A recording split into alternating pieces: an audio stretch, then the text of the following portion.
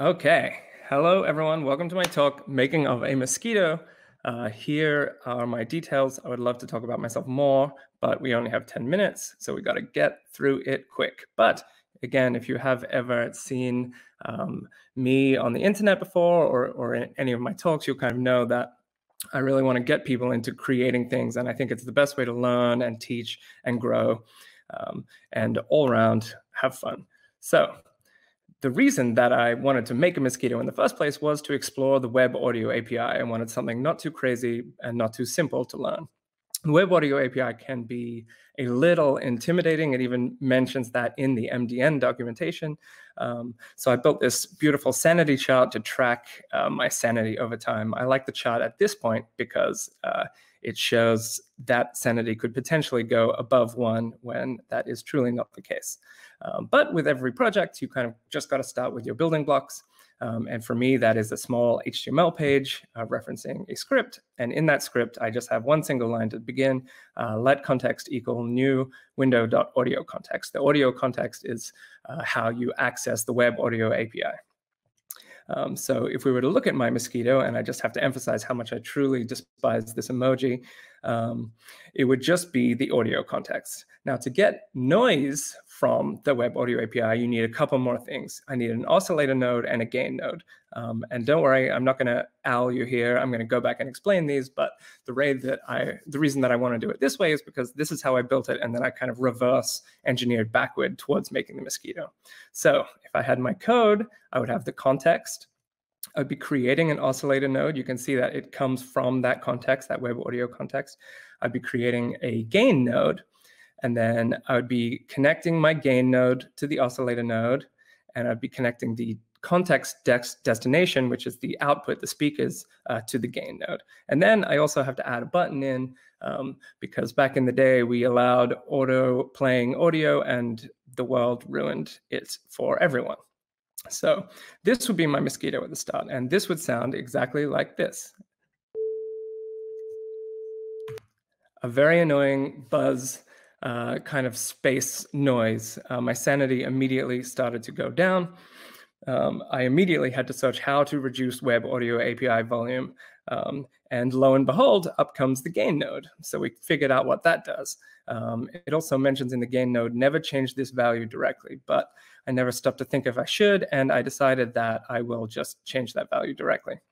And it reduced the volume to half. And that one that you heard just then was actually half already. It was really, really loud. Uh, so if we looked at my Mosquito now, it would be an oscillator node, a gain node, and an audio context. We know what the gain node is, uh, but what does this oscillator node do? Well, it turns out that the oscillator node is responsible for emitting a sound wave, uh, much like this sine wave that you see here. Um, and it has a few properties uh, on it. It has a frequency, which is the frequency of the wave, and it has a type. Um, there's a bunch of different types of, uh, of waves that it can emit. And of course, a mosquito would be the most intimidating sounding type, which is the sawtooth. Uh, and then I did a little research into frequencies of mosquitoes. And um, there are a lot of videos online, upsettingly. Um, and I also kind of learned that you could just jack the frequency up to about 10,000 and make that noise that only dogs and small kids can hear. Uh, do with that information what you will. Um, so I played around with my oscillator node. Uh, the sawtooth again was the best, uh, the best node type for this, and I set the frequency to about 750, and that gave me a mosquito that sounded a little like this. Very annoying. I had to reduce the volume again straight away. Sanity is at an all-time low of 0.8. The graph has figured out now that it's not going to go above that. Um, but this mosquito I would call the base mosquito. It's the yarn create mosquito, the npm init mosquito, the user bin mosquito. That's where it would live. Sanity is falling at a rapid rate at this point. Um, I've been playing with this for 30 minutes or something. I listened to mosquito videos. It was all kind of going crazy in my head. I decided that I need to stop the mosquito noise. You know, at the moment I was refreshing. It was really difficult to debug. Um, and the oscillator had a start and a stop. So I thought, okay, let me just plug that in uh, to the mosquito. So I can press that button, I can press it again to stop. But at this point, I'd already closed all my tabs multiple times because I felt that I was still hearing the buzzing afterwards. Uh, I decided to add a clap audio noise to give me a small, brief moment of satisfaction. So there we had our clap and our ending of the mosquito. I decided to add in uh, some ASCII art because I was really losing the plot. Uh, and then I found this when I tried to start my mosquito again. It turns out you can't uh, restart an oscillator node once you've called stop on it. I have no idea why. Uh, my best guess is that once you clap a mosquito completely out of existence, you can't obviously clap a mosquito into existence. Uh, so I had to do a bunch of different things here. Um, I had to start the oscillator node when I initially clicked the button, and then otherwise I would disconnect or reconnect the gain node. Uh, my sanity again took a big hit here because I knew that every time I stopped the mosquito, it was secretly oscillating behind the scenes, uh, waiting for its opportunity to strike. Now, if we think of the mosquito that I have at the moment, uh, this, again, here's the noise.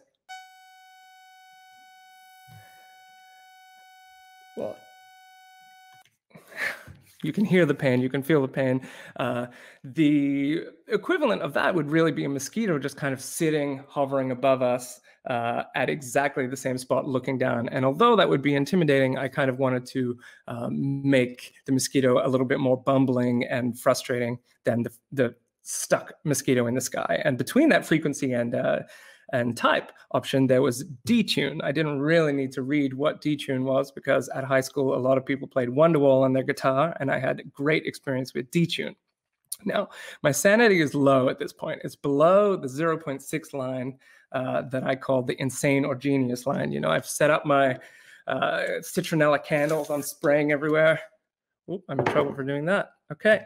Uh, but I decided to build the Mesquite engine. And the Mesquite engine is what I was going to use to detune the mosquito. So if I were to just set that originally up on a sine wave,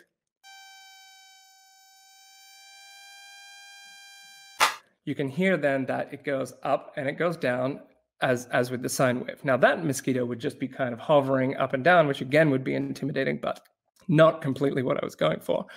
Um, so I decided to, rather than completely just keep adding to the sine counter, putting it round and round, I decided that 25% of the time uh, I would move backwards and 50% of the time I would move forwards. And the other remaining 25%, it would just stay static, which gives us this staggered Mesquite engine. I call Mesquite engine 0.5. And if you were to listen to it, you can hear that there it is much, much more like a mosquito. Um, I felt that it needed a little bit more variance, so I added a small pusher and puller in the middle of that. Uh, this variable will just go up to 0.6 or down, and it would just randomly 50% of the time go up or down. Uh, that small little push looks like this. And if I were to attach that uh, to the end of my already uh, rotating, broken rotating Mesquite engine, I would have what I call Mesquite engine 1.0.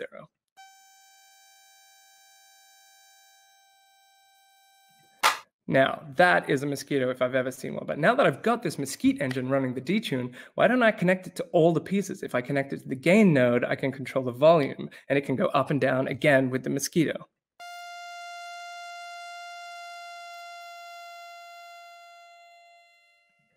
That is really starting to get onto the annoyance of the mosquito.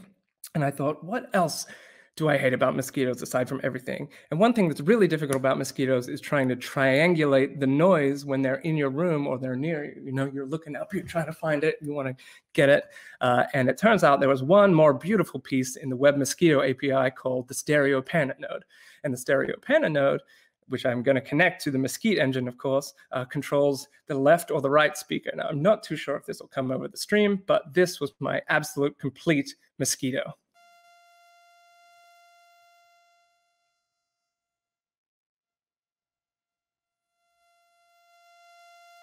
Infuriating, infuriating, infuriating. Uh, that is my talk. Thank you, everybody. Uh, presenting this to you, of course, has brought my sanity straight back up to the top. Thank you for the time.